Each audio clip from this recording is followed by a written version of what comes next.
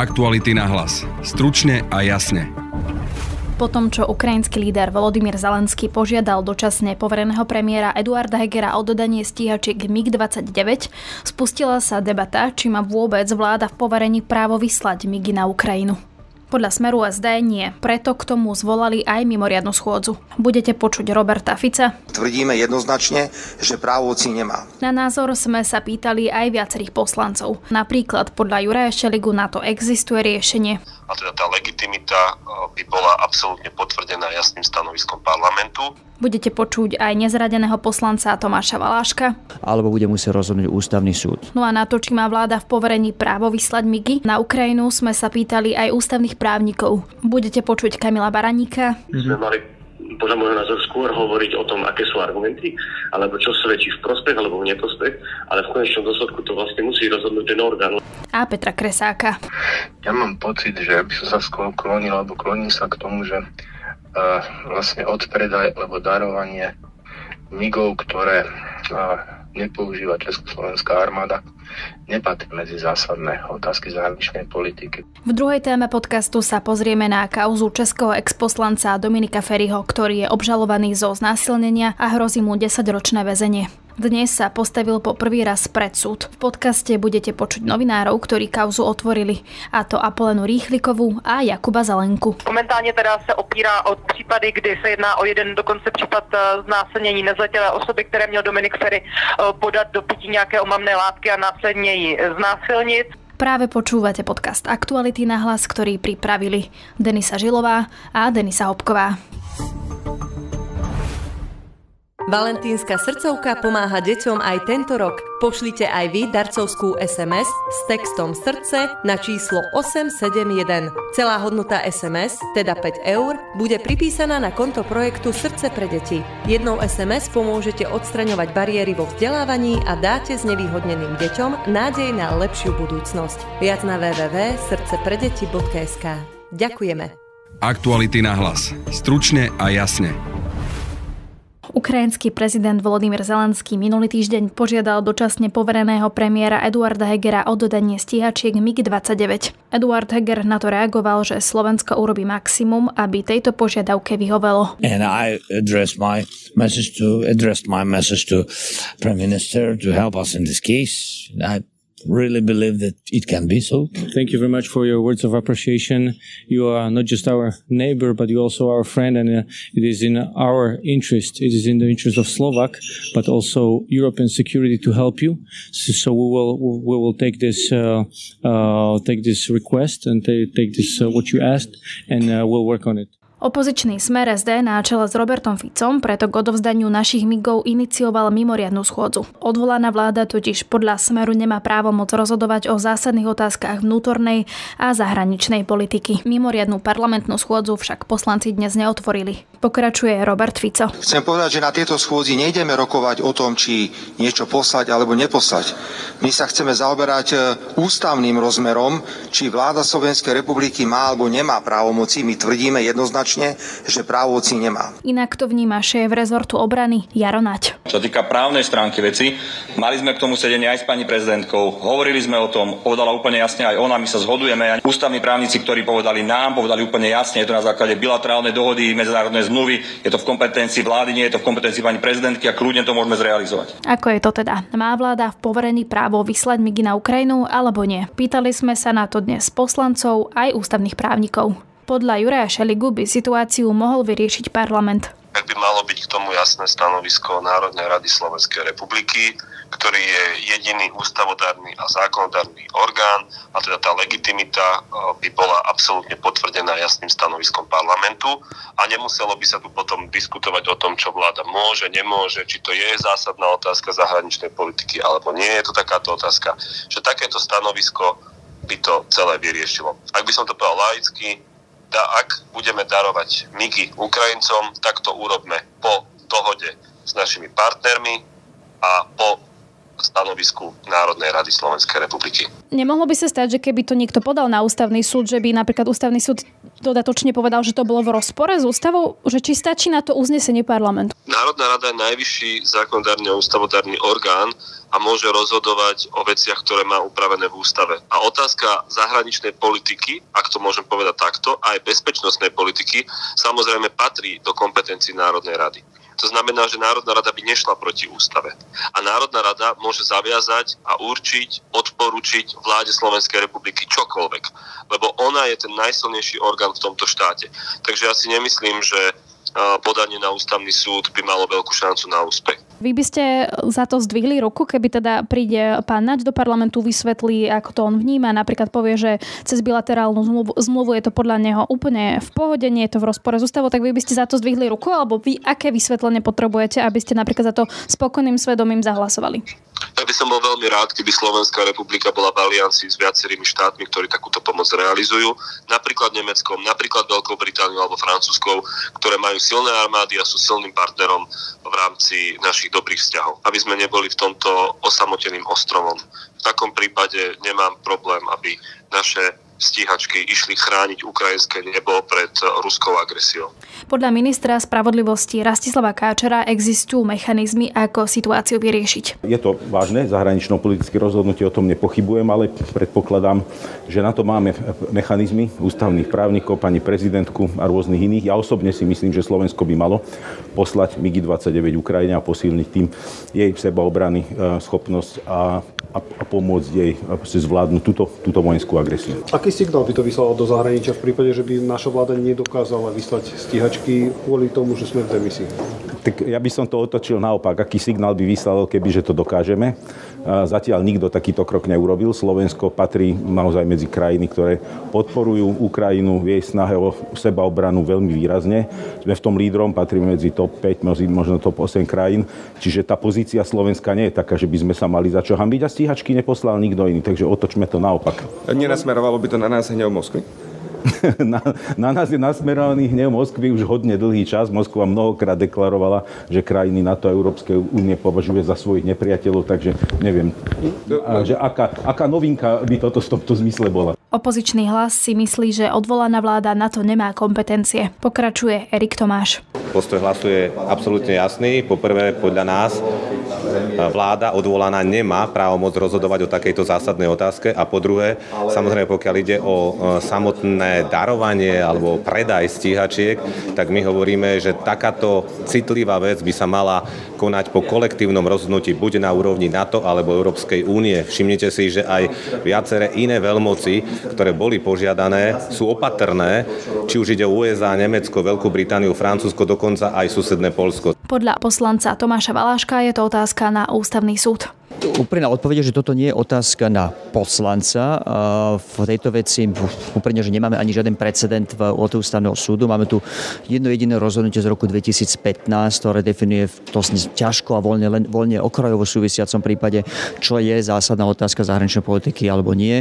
Takže úprimne myslím si, že buď tento parlament zmení zákon o tom, čo môže dočasná vláda robiť alebo nerobiť, alebo skráte volebné obdobie, nech nie sme v tomto provizóriu, alebo bude musieť rozhodnúť ústavný súd. Lebo pán Naď hovorí, že majú bilaterálne dohody, že, že to je možné a potom zase na druhej strane ústavní právnici niektorí hovoria, že to nie je možné. Viete, opäť sa raz potvrdzuje v tejto debate, že, že koľko právnikov, toľko názorov. Ja už som počul za tých posledných týždeň, čo sa t- o tejto téme hovorí, uh, niekoľko desiatok rôznych názorov, takže aj preto hovorím, nemyslím si, že by to mala byť politická otázka. Ústavu si máme ctiť. Uh, ja sám som samozrejme za vyslanie MIGov, povedal som to otvorene. Uh, myslím si, že je v našom bezpečnostnom záujme, aby tam tie MIGy išli, ale zase nie za cenu ohýbania ústavy a zákonov Slovenskej republiky. A preto si myslím opäť, že toto je otázka v tomto štádiu asi na ústavný súd. Minister Naď sa nakoniec sám vyjadril včera, keď požiadal o odloženie tejto schôdze, že táto vec ani zďaleka nehorí tak, ako sa hovorí. Už potom nerozumiem, prečo tá opatrnosť a, a prečo nepostupovať túto vec na ústavný súd, keď teda ústavy samotného dočasne povereného ministra počúvame, že až taká horúca nie je. Ako to vidia ústavní právnici? Podľa docenta ústavného práva právnickej fakulty Univerzity Mateja Bela Kamila Baránika tu vznikajú problémy pri inter interpretácii ústavného textu, že čo to vlastne je zásadná otázka vnútornej a zahraničnej politiky. Pýtal sa Marek Biro. Aj keby sa ústavní právnici do jedného zhodli, že to zásadná otázka je, tak ústavný súd stále môže povedať, že to nie je. My by sme mm-hmm. mali podľa môjho názoru skôr hovoriť o tom, aké sú argumenty, alebo čo svedčí v prospech alebo v neprospech, ale v konečnom dôsledku to vlastne musí rozhodnúť ten orgán, lebo my môžeme od rána do večera ako ústavní právnici sa jednotne zhodujú napríklad na tom, že zákon je neústavný a parlament ho aj tak príjme. Takže e, to nie je, povedzme to teraz, že vláda je v nejakom voľnom režime oproti ostatným ústavným orgánom. Aj ostatné ústavné orgány si nejakým spôsobom vykladajú svoje právomoci. Aj v nich môže vzniknúť množstvo komplikácií a sporných bodov, ale to nič neznamená na tom, že to môžeme kritizovať ako ľudia, ktorí, sa, ktorí sme síce od výkonu právomoci vzdialení, ale na druhej strane sa venujeme ústavnému právu, ale to ne, neznamená, že my to nejako rozhodneme. Tá zodpovednosť spočíva práve na tých orgánoch, ktoré sú na to určené. V tomto prípade, ako hovorím, je to minimálne vláda, pravdepodobne aj parlament, ktorý tiež rozhodujú o základných otázkach zahraničnej politiky, okrem iného takisto prezident, e, ktorý je hlavou štátu a zastupuje Slovenskú politiku aj návonok a riešia otázky, ktoré sa týkajú e, obrany, pretože je to hlavný e, veliteľ ozbrojených síl. Tam je síce komplikácie s tým, že potrebuje kontrasignáciu predsed, predsedu vlády alebo ministra obrany, ale to nič nemení na veci, že tiež zasahuje do otázok zahraničnej politiky a súčasne poveruje vládu v dočasnom režime vykonávať určitý okruh právomocí, tak ako s nimi ráta ústava. Prezidentka vyzvala v tejto súvislosti, aby sa vláda poradila s prá- ústavnými právnikmi. Vy si teda ne- nehodláte trúfnuť uh, povedať, že ako, či by to mala teda vláda urobiť, alebo to nemá riskovať? No, ja si osobne myslím, že E, toto by sa malo riešiť, ako to je správny postup, že by sme mali po, poskytovať argumenty, ale my nemôžeme rozhodovať o, o, o tom, či je to ústavné alebo neústavné, lebo to budú tie orgány alebo ústavný súd. E, a ten ústavný súd aj na ňom môžu sedieť súdcovia, ktorí majú iný názor na vec a ide len o to, aká väčšina sa napríklad na ústavnom súde by našla ktorá by povedala, keby išlo konanie o výklade ústavy, keby sa tam dostalo, že či takýto výklad vlády, dajme tomu, ktorá by povedala, že je to v súlade s ústavou a potom v spore, dajme tomu aj s prezidentkou alebo s alebo aj s parlamentom, keby to bolo prípustné, tak by povedali, že nie je, tak medzi nimi by rozhodli, rozhodol ústavný súd väčšinou, ktorá je v, ktorá je v plene. Čiže iným slovom povedané, ani ústavný súd nemá patent na rozum, a aj ústavný súd vie vyložiť ústavu tak, že sa to možno veľa nebude páčiť a neznamená, že rozhodnutím ústavného súdu automaticky všetci uznajú všetky argumenty, ale proste ústavný súd, je v tom systéme nastavený práve tak, aby tú uh, rozsekovaciu právomoc povedal in, uh, finálne interpretáciou, že čo je, čo platí v našom ústavnom poriadku a čo je v súlade s ústavou. Podľa ústavného právnika Vincenta Bujňáka poskytnutie vojenskej pomoci napadnutému susedovi je rozhodovanie o zásadnej otázke zahraničnej politiky. Prikláňam sa k záveru, že poskytnutie významnej vojenskej pomoci napadnutému susedovi je rozhodovanie o zásadnej otázke, otázke zahraničnej politiky a preto tu existuje problém. Riešenie tejto situácie by bolo buď v tom, že by sme zmenili ústavu a do ústavy by sme napísali, že aj rozhodovanie o zásadných otázkach v oblasti zahraničnej politiky patrí napríklad medzi právomoci, ktoré môže vláda vykonávať s predchádzajúcim súhlasom hlavy štátu, alebo by bolo možné ešte celú túto situáciu vyriešiť tým, že keď by bola vymenovaná nová vláda, tak nová vláda už po svojom vymenovaní má plný rozsah právomoci a nemusela by potom riešiť e, ústavnosť e, tohto kroku, pretože by bolo jasné, že má aj právomoc rozhodovať o zásadnej otázke v oblasti zahraničnej politiky. Nechcel by som, aby sa to riešilo tým tretím spôsobom a to je lámanie ústavy cez koleno, lebo to samozrejme neprichádza do úvahy, aby ste porušovali ústavu týmto spôsobom, pretože keď raz ústava hovorí, že rozhodovanie o zásadnej otázke zahraničnej politiky skrátka nepatrí medzi tie právomoci, ktoré môže vykonávať odvolaná vláda, tak potom musíme rešpektovať súčasný ústavný rámec. Opačne to vidí ústavný právnik a bývalý ústavný sudca Petr Kresák. Opäť sa pýtal Marek Biro. V prvom rade asi treba povedať, že samozrejme ja môžem vyjadriť svoj názor, ale to je iba názor právnika a nikto nemáme e, oprávnenie okrem ústavného súdu podávať výklad ústavného textu. No a tu sa jedná vlastne o otázku výkladu ústavného textu. Ja samozrejme mám na to svoj názor, ten vám aj poviem, ale pokiaľ som toto na úvod za potrebné mm-hmm. povedať. V súčasnosti sa stal sporným, stal sporným písmeno I toho článku 119, ktorý toto písmeno I hovorí, že vlastne to spadá pod to, čo nemôže vláda vykonávať. To znamená, že ona skutočne podľa textu ústavy nemôže rozhodovať o zásadných otázkach vnútornej a zahraničnej politiky. Samozrejme teraz môže nastať diskusia, asi aj nastála už, čo sú zásadné otázky zahraničnej politiky.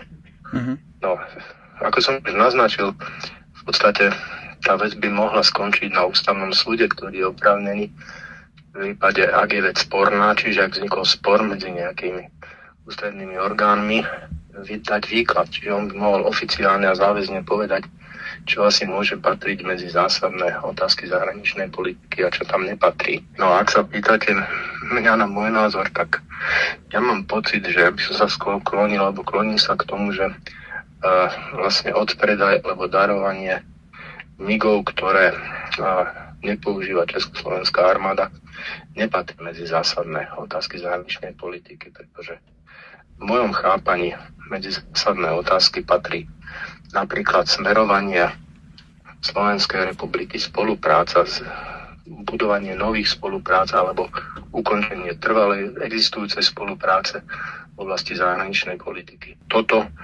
čo ako som aj počul, je vlastne iba možná, hovorím možná, lebo však ešte nedošlo k tomu rozhodnutiu, ale iba možná realizácia dohody, ktorá existuje, na základe ktorej sa už isté zbraňové systémy do Ukrajiny dostali zo Slovenskej republiky. Uh-huh. Čiže, čiže podľa môjho vnímania to nemení zahraničnú politiku. Není to, není to zásadná otázka, ktorá by vstúpala do zahraničnej politiky Slovenskej republiky. Hoci sa v súčasnosti názory líšia, Eduard Heger potvrdil, že skôr, než sa o migoch rozhodne, poradí sa s odborníkmi a podľa ich stanovisk bude vláda postupovať a konať.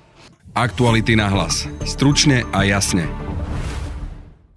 5 rokov od vraždy Jána Kuciaka vydala redakcia Aktuality.sk mimoriadnu knižnú publikáciu Kuciak, reportáže 2015 až 2023. Výber najzásadnejších článkov investigatívneho novinára doplňajú zistenia vyšetrovateľov a rozhodnutia súdov. Knihu Kuciak predstavíme v pondelok 20. februára o 18. hodine v Starej tržnici v Bratislave. Odporúčame vám rezervovať si miesto vopred na webe Aktuality.sk. Aktuality na hlas. Stručne a jasne.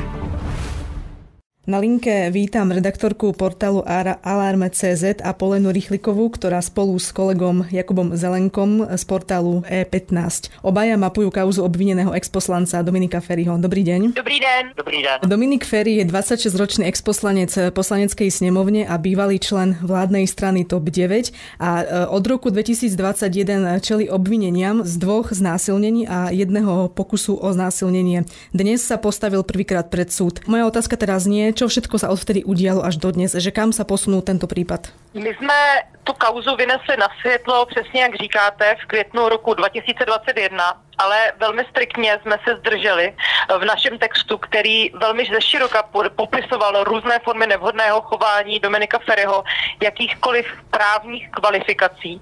To jsme opravdu chtěli případně ponechat eh, na policii a na státní zástupkyni. Eh, to vyšetřování posléze začalo, trvalo nějakou dobu, eh, trvalo vlastně skoro rok a půl Eh, došlo k němu k velmi širokému dotazování, ohledávání různých skutečností a eh, skončilo to tedy tak, že koncem minulého roku byl Dominik Ferry obžalovaný ze dvou znásilnění a jednoho pokusu o něj. Aké dôkazy svedčia proti němu? Policie nejčastěji pracuje s výpověďma a pak dalšíma svědkama. Často se odkazuje na lidi, kterým se poprvé ty oběti svěřily. Jsou tam i uh, eh, SMS komunikace mezi Dominikem Ferrym a některýma těma poškozenými postiženýma ženama. Policie dále se snažila spolu se státní zástupkyní rekonstruovat nějaký profil, jak on vlastně uh, se chová k ženám a ke svému okolí.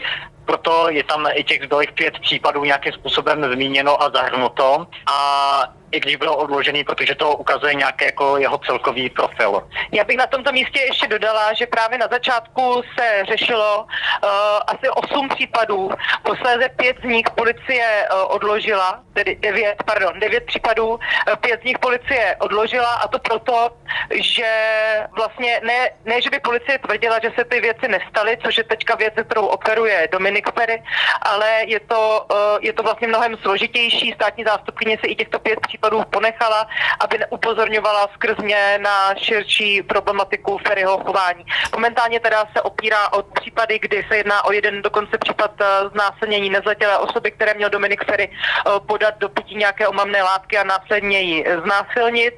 Potom o případ ženy, kterou sexuálně měl napadnout v poslanecké sněmovně a následně o další případ znásilnění, který se měl udehrát u něj doma na bytě. Súdne pojednávanie je vlastne od nejakej 11. prerušené, teda verejnosť je vylúčená zo súdnej siene. Vieme povedať, e, akí svetkovia tam vypovedajú v tomto čase, keď je to pojednávanie neverejné? Ne, ne, veřejnost ani novináři v tuto chvíli nemůžou být u toho výslechu těch žen čistě kvůli tomu, aby byly ochráněny, aby, protože oni budou zveřejňovat intimní detaily, bolestivé zkušenosti, které zažili. A na rozdíl od Dominika jeho nech, vlastně jejich advokátka i státní zástupkyně nechtějí, aby byly vystavovány téhle věci veřejně. Eh, Dominik Ferry od začátku trval na tom, aby všechno probíhalo veřejně. Ako sa brání Dominik Ferry? Tak on používá celou škálu obrany. Vlastně asi to nejzajímavější bylo, že hned ráno, krátce poté, co přišel uh, před novináře a novinářky, tak zveřejnil hned dvě jména žen z těch odložených případů a nasknul je z toho, že veřejnil haly. Uh, to je velmi nestandardní situace. Momentálně ta, třeba diskuze na českém Twitteru je vůči tomuto kroku velmi kritická. On samozřejmě mohl třeba podat trestní oznámení za možné křivé svědectví, to však neudělal a operuje s termínem, že to ženy lhali, což ani policie, ani státní zastupitelství ale netvrdí. A dále vlastně tvrdí, že ta kauza je víceméně mediálního charakteru, že to rozpoutala média, že ty ženy se na tom chtějí nějak přeživit a uh, opřel se také do problematiky jejich duševního zdraví a uh, psychologického profilu, kdy vlastně se snažil její výpovědi z nedůvěry hodnit nějakým odkazem na to, eh, že jsou to třeba pacientky psychologie nebo že mají terapeutky. Ono o jeho nevhodnom správaní sa rozprávalo už aj roky predtým. Prečo sa to ale až v tom 2016, teda 2021 odhalilo? Média se opakovaně snažili tyhle ty informace ověřit. Konkrétně zkoumali několik koby případů, ale nedostali od těch žen autorizaci pro to, aby ty příběhy zveřejnili. Já s Apolenou jsme se snažili jít trochu jinou cestou a po vzoru amerických médiích jsme zkoušeli zrekonstruovat jeho profil a to, jak se k ženám chová. Postupně, jak se nabírali další a další zdroje, tak vlastně se odhalovalo to, jak přistupoval k ženám a kromě uh, desítek, uh, nechci říct jakoby menších, ale případů charakterů, který uh, byly nevhodné, se objevily i případy, které mohly mít tu trestně právní rovinu, takže jakmile vyšel ten text, tak se tím začala zabývat policie, protože si to policie vyhodnotila jako případ, kterým by se měla věnovat. A devět žen nakonec vypovídalo. Ferry má fanúšikov a podporovateľ, teda mal fanúšikov, možno aj teraz má fanúšikov a podporovateľov najmä medzi mladými ľuďmi. Ako možno oni reagovali na ty obvinenia? To se dá těžko určit, nicméně Dominik Ferry patřil mezi tři nejsledovanější české profily na Instagramu. Měl více než milion sledujících účtů, momentálně ten počet výrazně za, ty, za ten poslední rok a půl klesl. TOP 09 ho tehdy situovala do role politika pro mladé, měl opravdu velkou platformu, objížděl střední školy, i tam se mimochodem dopouštěl velmi nevhodného chování a sexistických poznámek na dívky těchto výpovědí jsou opravdu desítky, byla to vlastně tak takřka každodenní rutina jeho. Řada lidí asi vnímala ten jeho případ jako velké zklamání, ale moc se tomu, myslím, média nevěnovala. Spíš to bylo bráno jako případ někoho velmi vlivného. On byl opravdu vlivný politik v nějakém slova smyslu, spíš influencer než politik. A, a tak se na to vlastně bylo, tak na to bylo nahlíženo. Možno taká ešte posledná otázka, trošku subjektívnejšia. Ako na vás pôsobil Dominik Ferry dnes, keď ste ho viděli? Já si nejsem jistá, jestli je tohle v gesci hodnocení novinářů. Dá se asi obecně, velmi obecně říct, že k soudu přišel v dobrém rozmaru, usmíval se, působil suverénně a podle toho se i choval. Pokud můžu říct za sebe, tak vlastně nastoupil velice nekompromisně na svou obhajobu, včetně zveřejňování jmen žen, eh, které eh, vypovídaly na policii, což pronesl před médií, zástupci médií a televizníma kamerama. Když jsme se koukali na reakce na sociálních sítích, tak právě tohleto odsuzovali i jeho bývalí spolustraníci, včetně bývalého předsedy TOP 09 Miroslava Kalouska, který vlastně řekl, že to bylo navíc a že to tu ženu že to řekl pravděpodobně s cílem tu ženu poškodit. Takže v této rovině uh, si momentálně moc servítky nebere a média musí teda ty informace filtrovat, aby nedocházelo k sekundární viktimizaci. Ďakujem pekne za rozhovor. Mějte se na sve. Už skoro 40 tisíc potvrdených obetí, stovky tisíc zranených, ale aj napríklad po šiestich dňoch od zemetrasenia živí pod sutinami. Rovnako deti bez mien, lebo nedokážu pre šok prehovoriť a zostali bez rodín. Na druhej strane aj prípady rabovania a násilia. Aj z takéhoto Turecka sa vrátila Sonja Vajsová, reportérka RTVS, ktorá z postihnutých oblastí informovala Slovensko. Čo zažila a videla si, môžete vypočuť v našom rannom podcaste, ktorý nájdete na webe Aktuality.sk a v podcastových aplikáciách. No a to je z dnešného podcastu všetko. Od mikrofónu sa lúči a pekný deň želá Denisa Hopková. Aktuality na hlas. Stručne a jasne.